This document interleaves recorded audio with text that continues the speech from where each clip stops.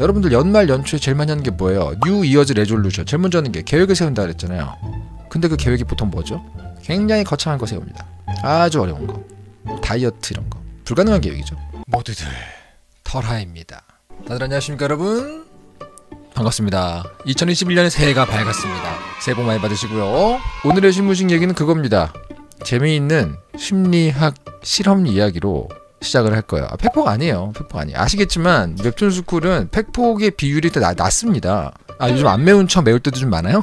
미안합니다 고양이 아저씨님 제가 초심을 잃었나 보네요 너무 이렇게 안 매운 것만 먹다 보면 가끔 심심하잖아요 조심하도록 할게요 제가 굉장히 좋아하는 심리학자가 있어요 근데 그 심리학자의 제가 되게 싫어하는 실험이 있습니다. 오늘은 그 얘기를 시작을 할 겁니다. 마틴 셀리그만이라는 심리학자가 있어요. 여러분 수십 년 전에 현대 심리학이 막 융성하던 때에 전 세계적으로 가장 많이 연구되는 분야가 심리학에 있어서 가장 많이 연구되는 분야가 맞춰보세요. 부정적인 심리 쪽일 것 같으세요? 긍정적인 심리에 대한 연구일 것 같으세요? 당연히 부정적인 심리학을 연구하는 사람들이 훨씬 많았습니다. 그냥 8, 90%될 거예요. 근데 그 중에 마틴 셀리그만은 지금 고양이 아저씨님 말씀하신 것처럼 아주 소수에 속하는 행복 연구의 정점, 긍정 심리학에 대한 어떤 그런 전문가였어요. 그분의 실험 중에서 굉장히 제가 안 좋아하는 실험이 있어요. 과거의 심리학 실험들을 찾아가서 공부를 하다 보면 수많은 논문들에 그 개를 그렇게 못사게 구는 실험들이 많습니다. 가장 유명한 게 뭡니까? 파블로프잖아요. 파블로프의 실험이잖아요. 이 실험도 이제 어떤 실험이냐? 일단 실험에 참여할 실험 참여 견들을 모읍니다. 8마리씩 세 그룹을 모아요. 그럼 이제 24마리가 있겠죠? 8, 8마리, 8마리, 8마리. 편의상 ABC 그룹이라고 할게요. 어... A 그룹은 대조군이에요. 그냥 일반적인 개들이 어떻게 행동하는지를 보고 비교 대상으로 삼기 위해서 첫 번째 여덟 마리 그릇 그 개들을 데려와가지고 이런 상자 상자 안에 한 마리를 넣습니다. 그럼 이제 그 개가 어떻게 있겠어요? 아주 귀엽게 가만히 멀뚱히 있겠죠? 응? 뭐지? 이렇게 개를 꺼내요. 그렇게 한 마리 한 마리 상자 안에 들어가서 있다가 나오는 경험을 시킵니다. 자 이제 B 그룹부터 첫 번째 실험을 시작합니다. 그 상자의 바닥에다가 전기선을 깔아요. 전류가 흐르게 되면 따끔따끔하게 그죠? 그리고 그 구석에다가 버튼을 하나 달아놓습니다. 스위치를. 그 버튼을 누르면 이제 전기 흐- 전기가 끊어지는 거예요. 전기를 딱 켜고 개를 두 번째 B 그룹의 여덟 마리를 데려와서 한 마리씩 넣습니다. 어떻게 되겠어요? 들어갔는데 따가운 거야. 그 귀여운 개의 앞발의 그 젤리가 따갑겠죠. 그래가지고 막 괴로워하는 거예요. 개들이 놀래가지고 괴로워하다가 구석에 있는 저 버튼이 있어가지고 그 코나 앞발로 탁 눌렀더니 전기가 탁 끊어지는 거예요. 그럼 이제 아주 편안해지겠죠.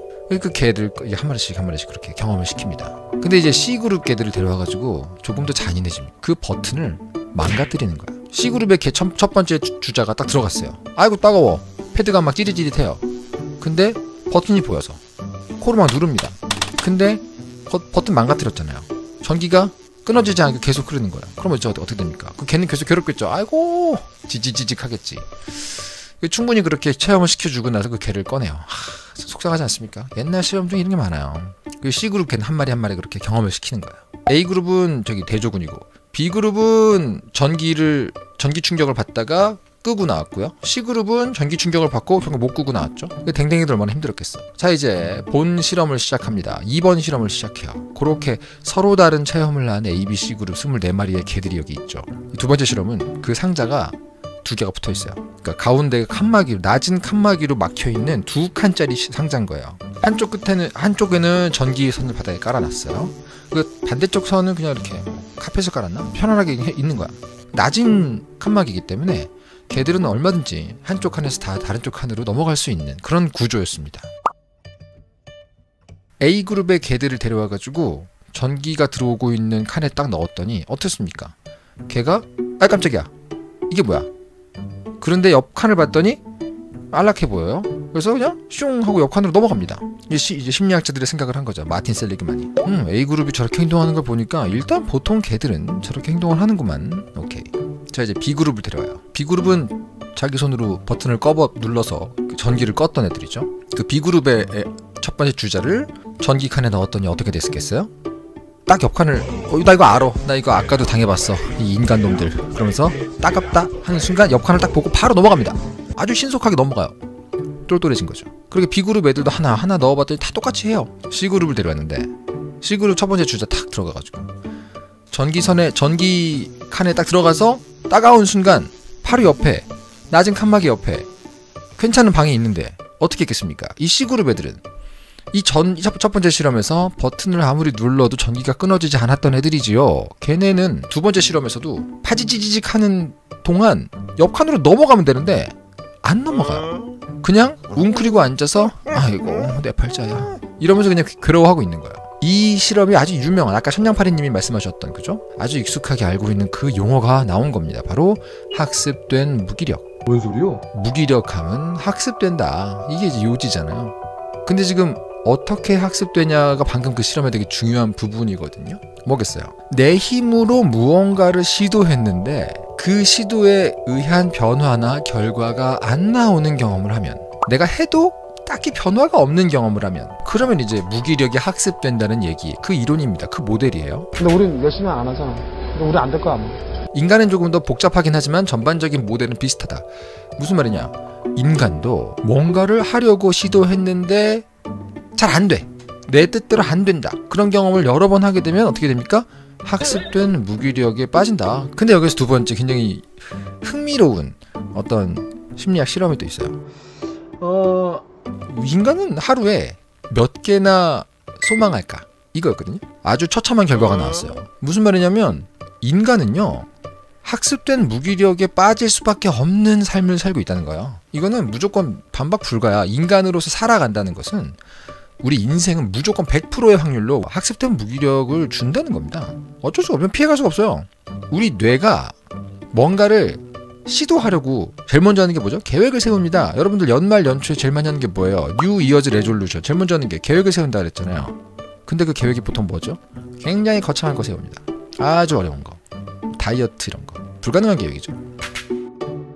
가끔 불가능한 가능히 하는 사람들이 가끔 있지만 보통은 불가능한 계획을 세워요. 그럼 어떻게 될까요? 불가능하니까 실패합니다. 어떻게 됐죠? 학습된 무기력이 한 번 더 커지겠죠. 왜? 내가 버튼을 눌렀는데 전기가 안 끌어진 거야. 내 계획을 세웠는데 실패했어. 어이가 없네 내가. 여러분들 실패한 경험과 성취한 경험 중에서 자연스럽게 더 우리 인간이 잘 기억하는 건 어느 쪽일 것 같으세요? 내가 사냥을 나갔어. 선사시대 우리 조상님 중에 한 분이 사냥을 나갔어. 근데 사냥을 나가는데 어 내가 끝내주는 성공을 했어 라는 것만 주로 기억하신 분들은 어떻게 됩니까? 지금 우- 우리의 선조가 되지 못한 채 돌아가셨습니다. 죽을 뻔했던 기억, 실패한 기억을 잘 기억하는 분들이 많이 남아 계시죠.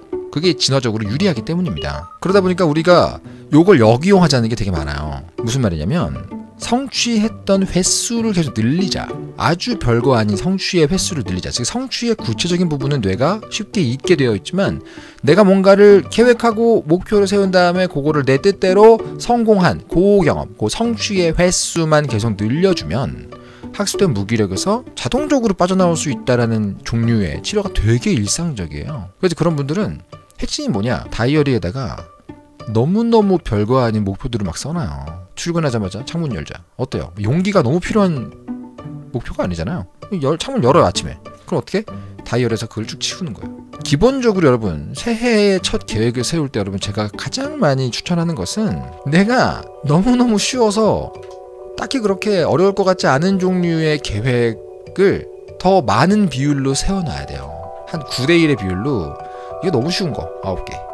그리고 약간 도전적인 거 하나 정도 이렇게 섞어가지고 세우는 게 되게 좋아요. 어 우리 웹툰 스쿨러 여러분 2021년 새롭게 시작하는 이 상황에서 괜히 막이 끓어오르는 투지와 의지를 가지고 유통기한이 짧은 요 휘발성 의지를 가지고 너무 어, 거대한 목표를 세우지 마십시오. 너무 별거 아니어서 누구한테 말하기 좀 부끄러운 종류의 계획을 90% 정도 세우십시오. 그리고 그것을 1월 달 동안 하나씩 지우세요. 그럼 어떻게 되냐? 1월이 끝날 때쯤 여러분들은 1년의 목표를 전부 달성한 어마어마한 사람이 돼 있는 겁니다. 어떻습니까? 아, 좋은 1, 1월 아닙니까? 음, 저의 교장 선생님 훈한 말씀 신무식의 핵심은 그겁니다. TBGC님이 되게 불길한 얘기를 하고 있죠. 더치 반더, 더치, 더치 반더린드. 나에겐 계획이 있어. I, I have a plan. I got a plan. Exactly as I planned. I have a goddamn plan! I have a plan. 하지만 그 플랜은 점점점 언제나 점점점.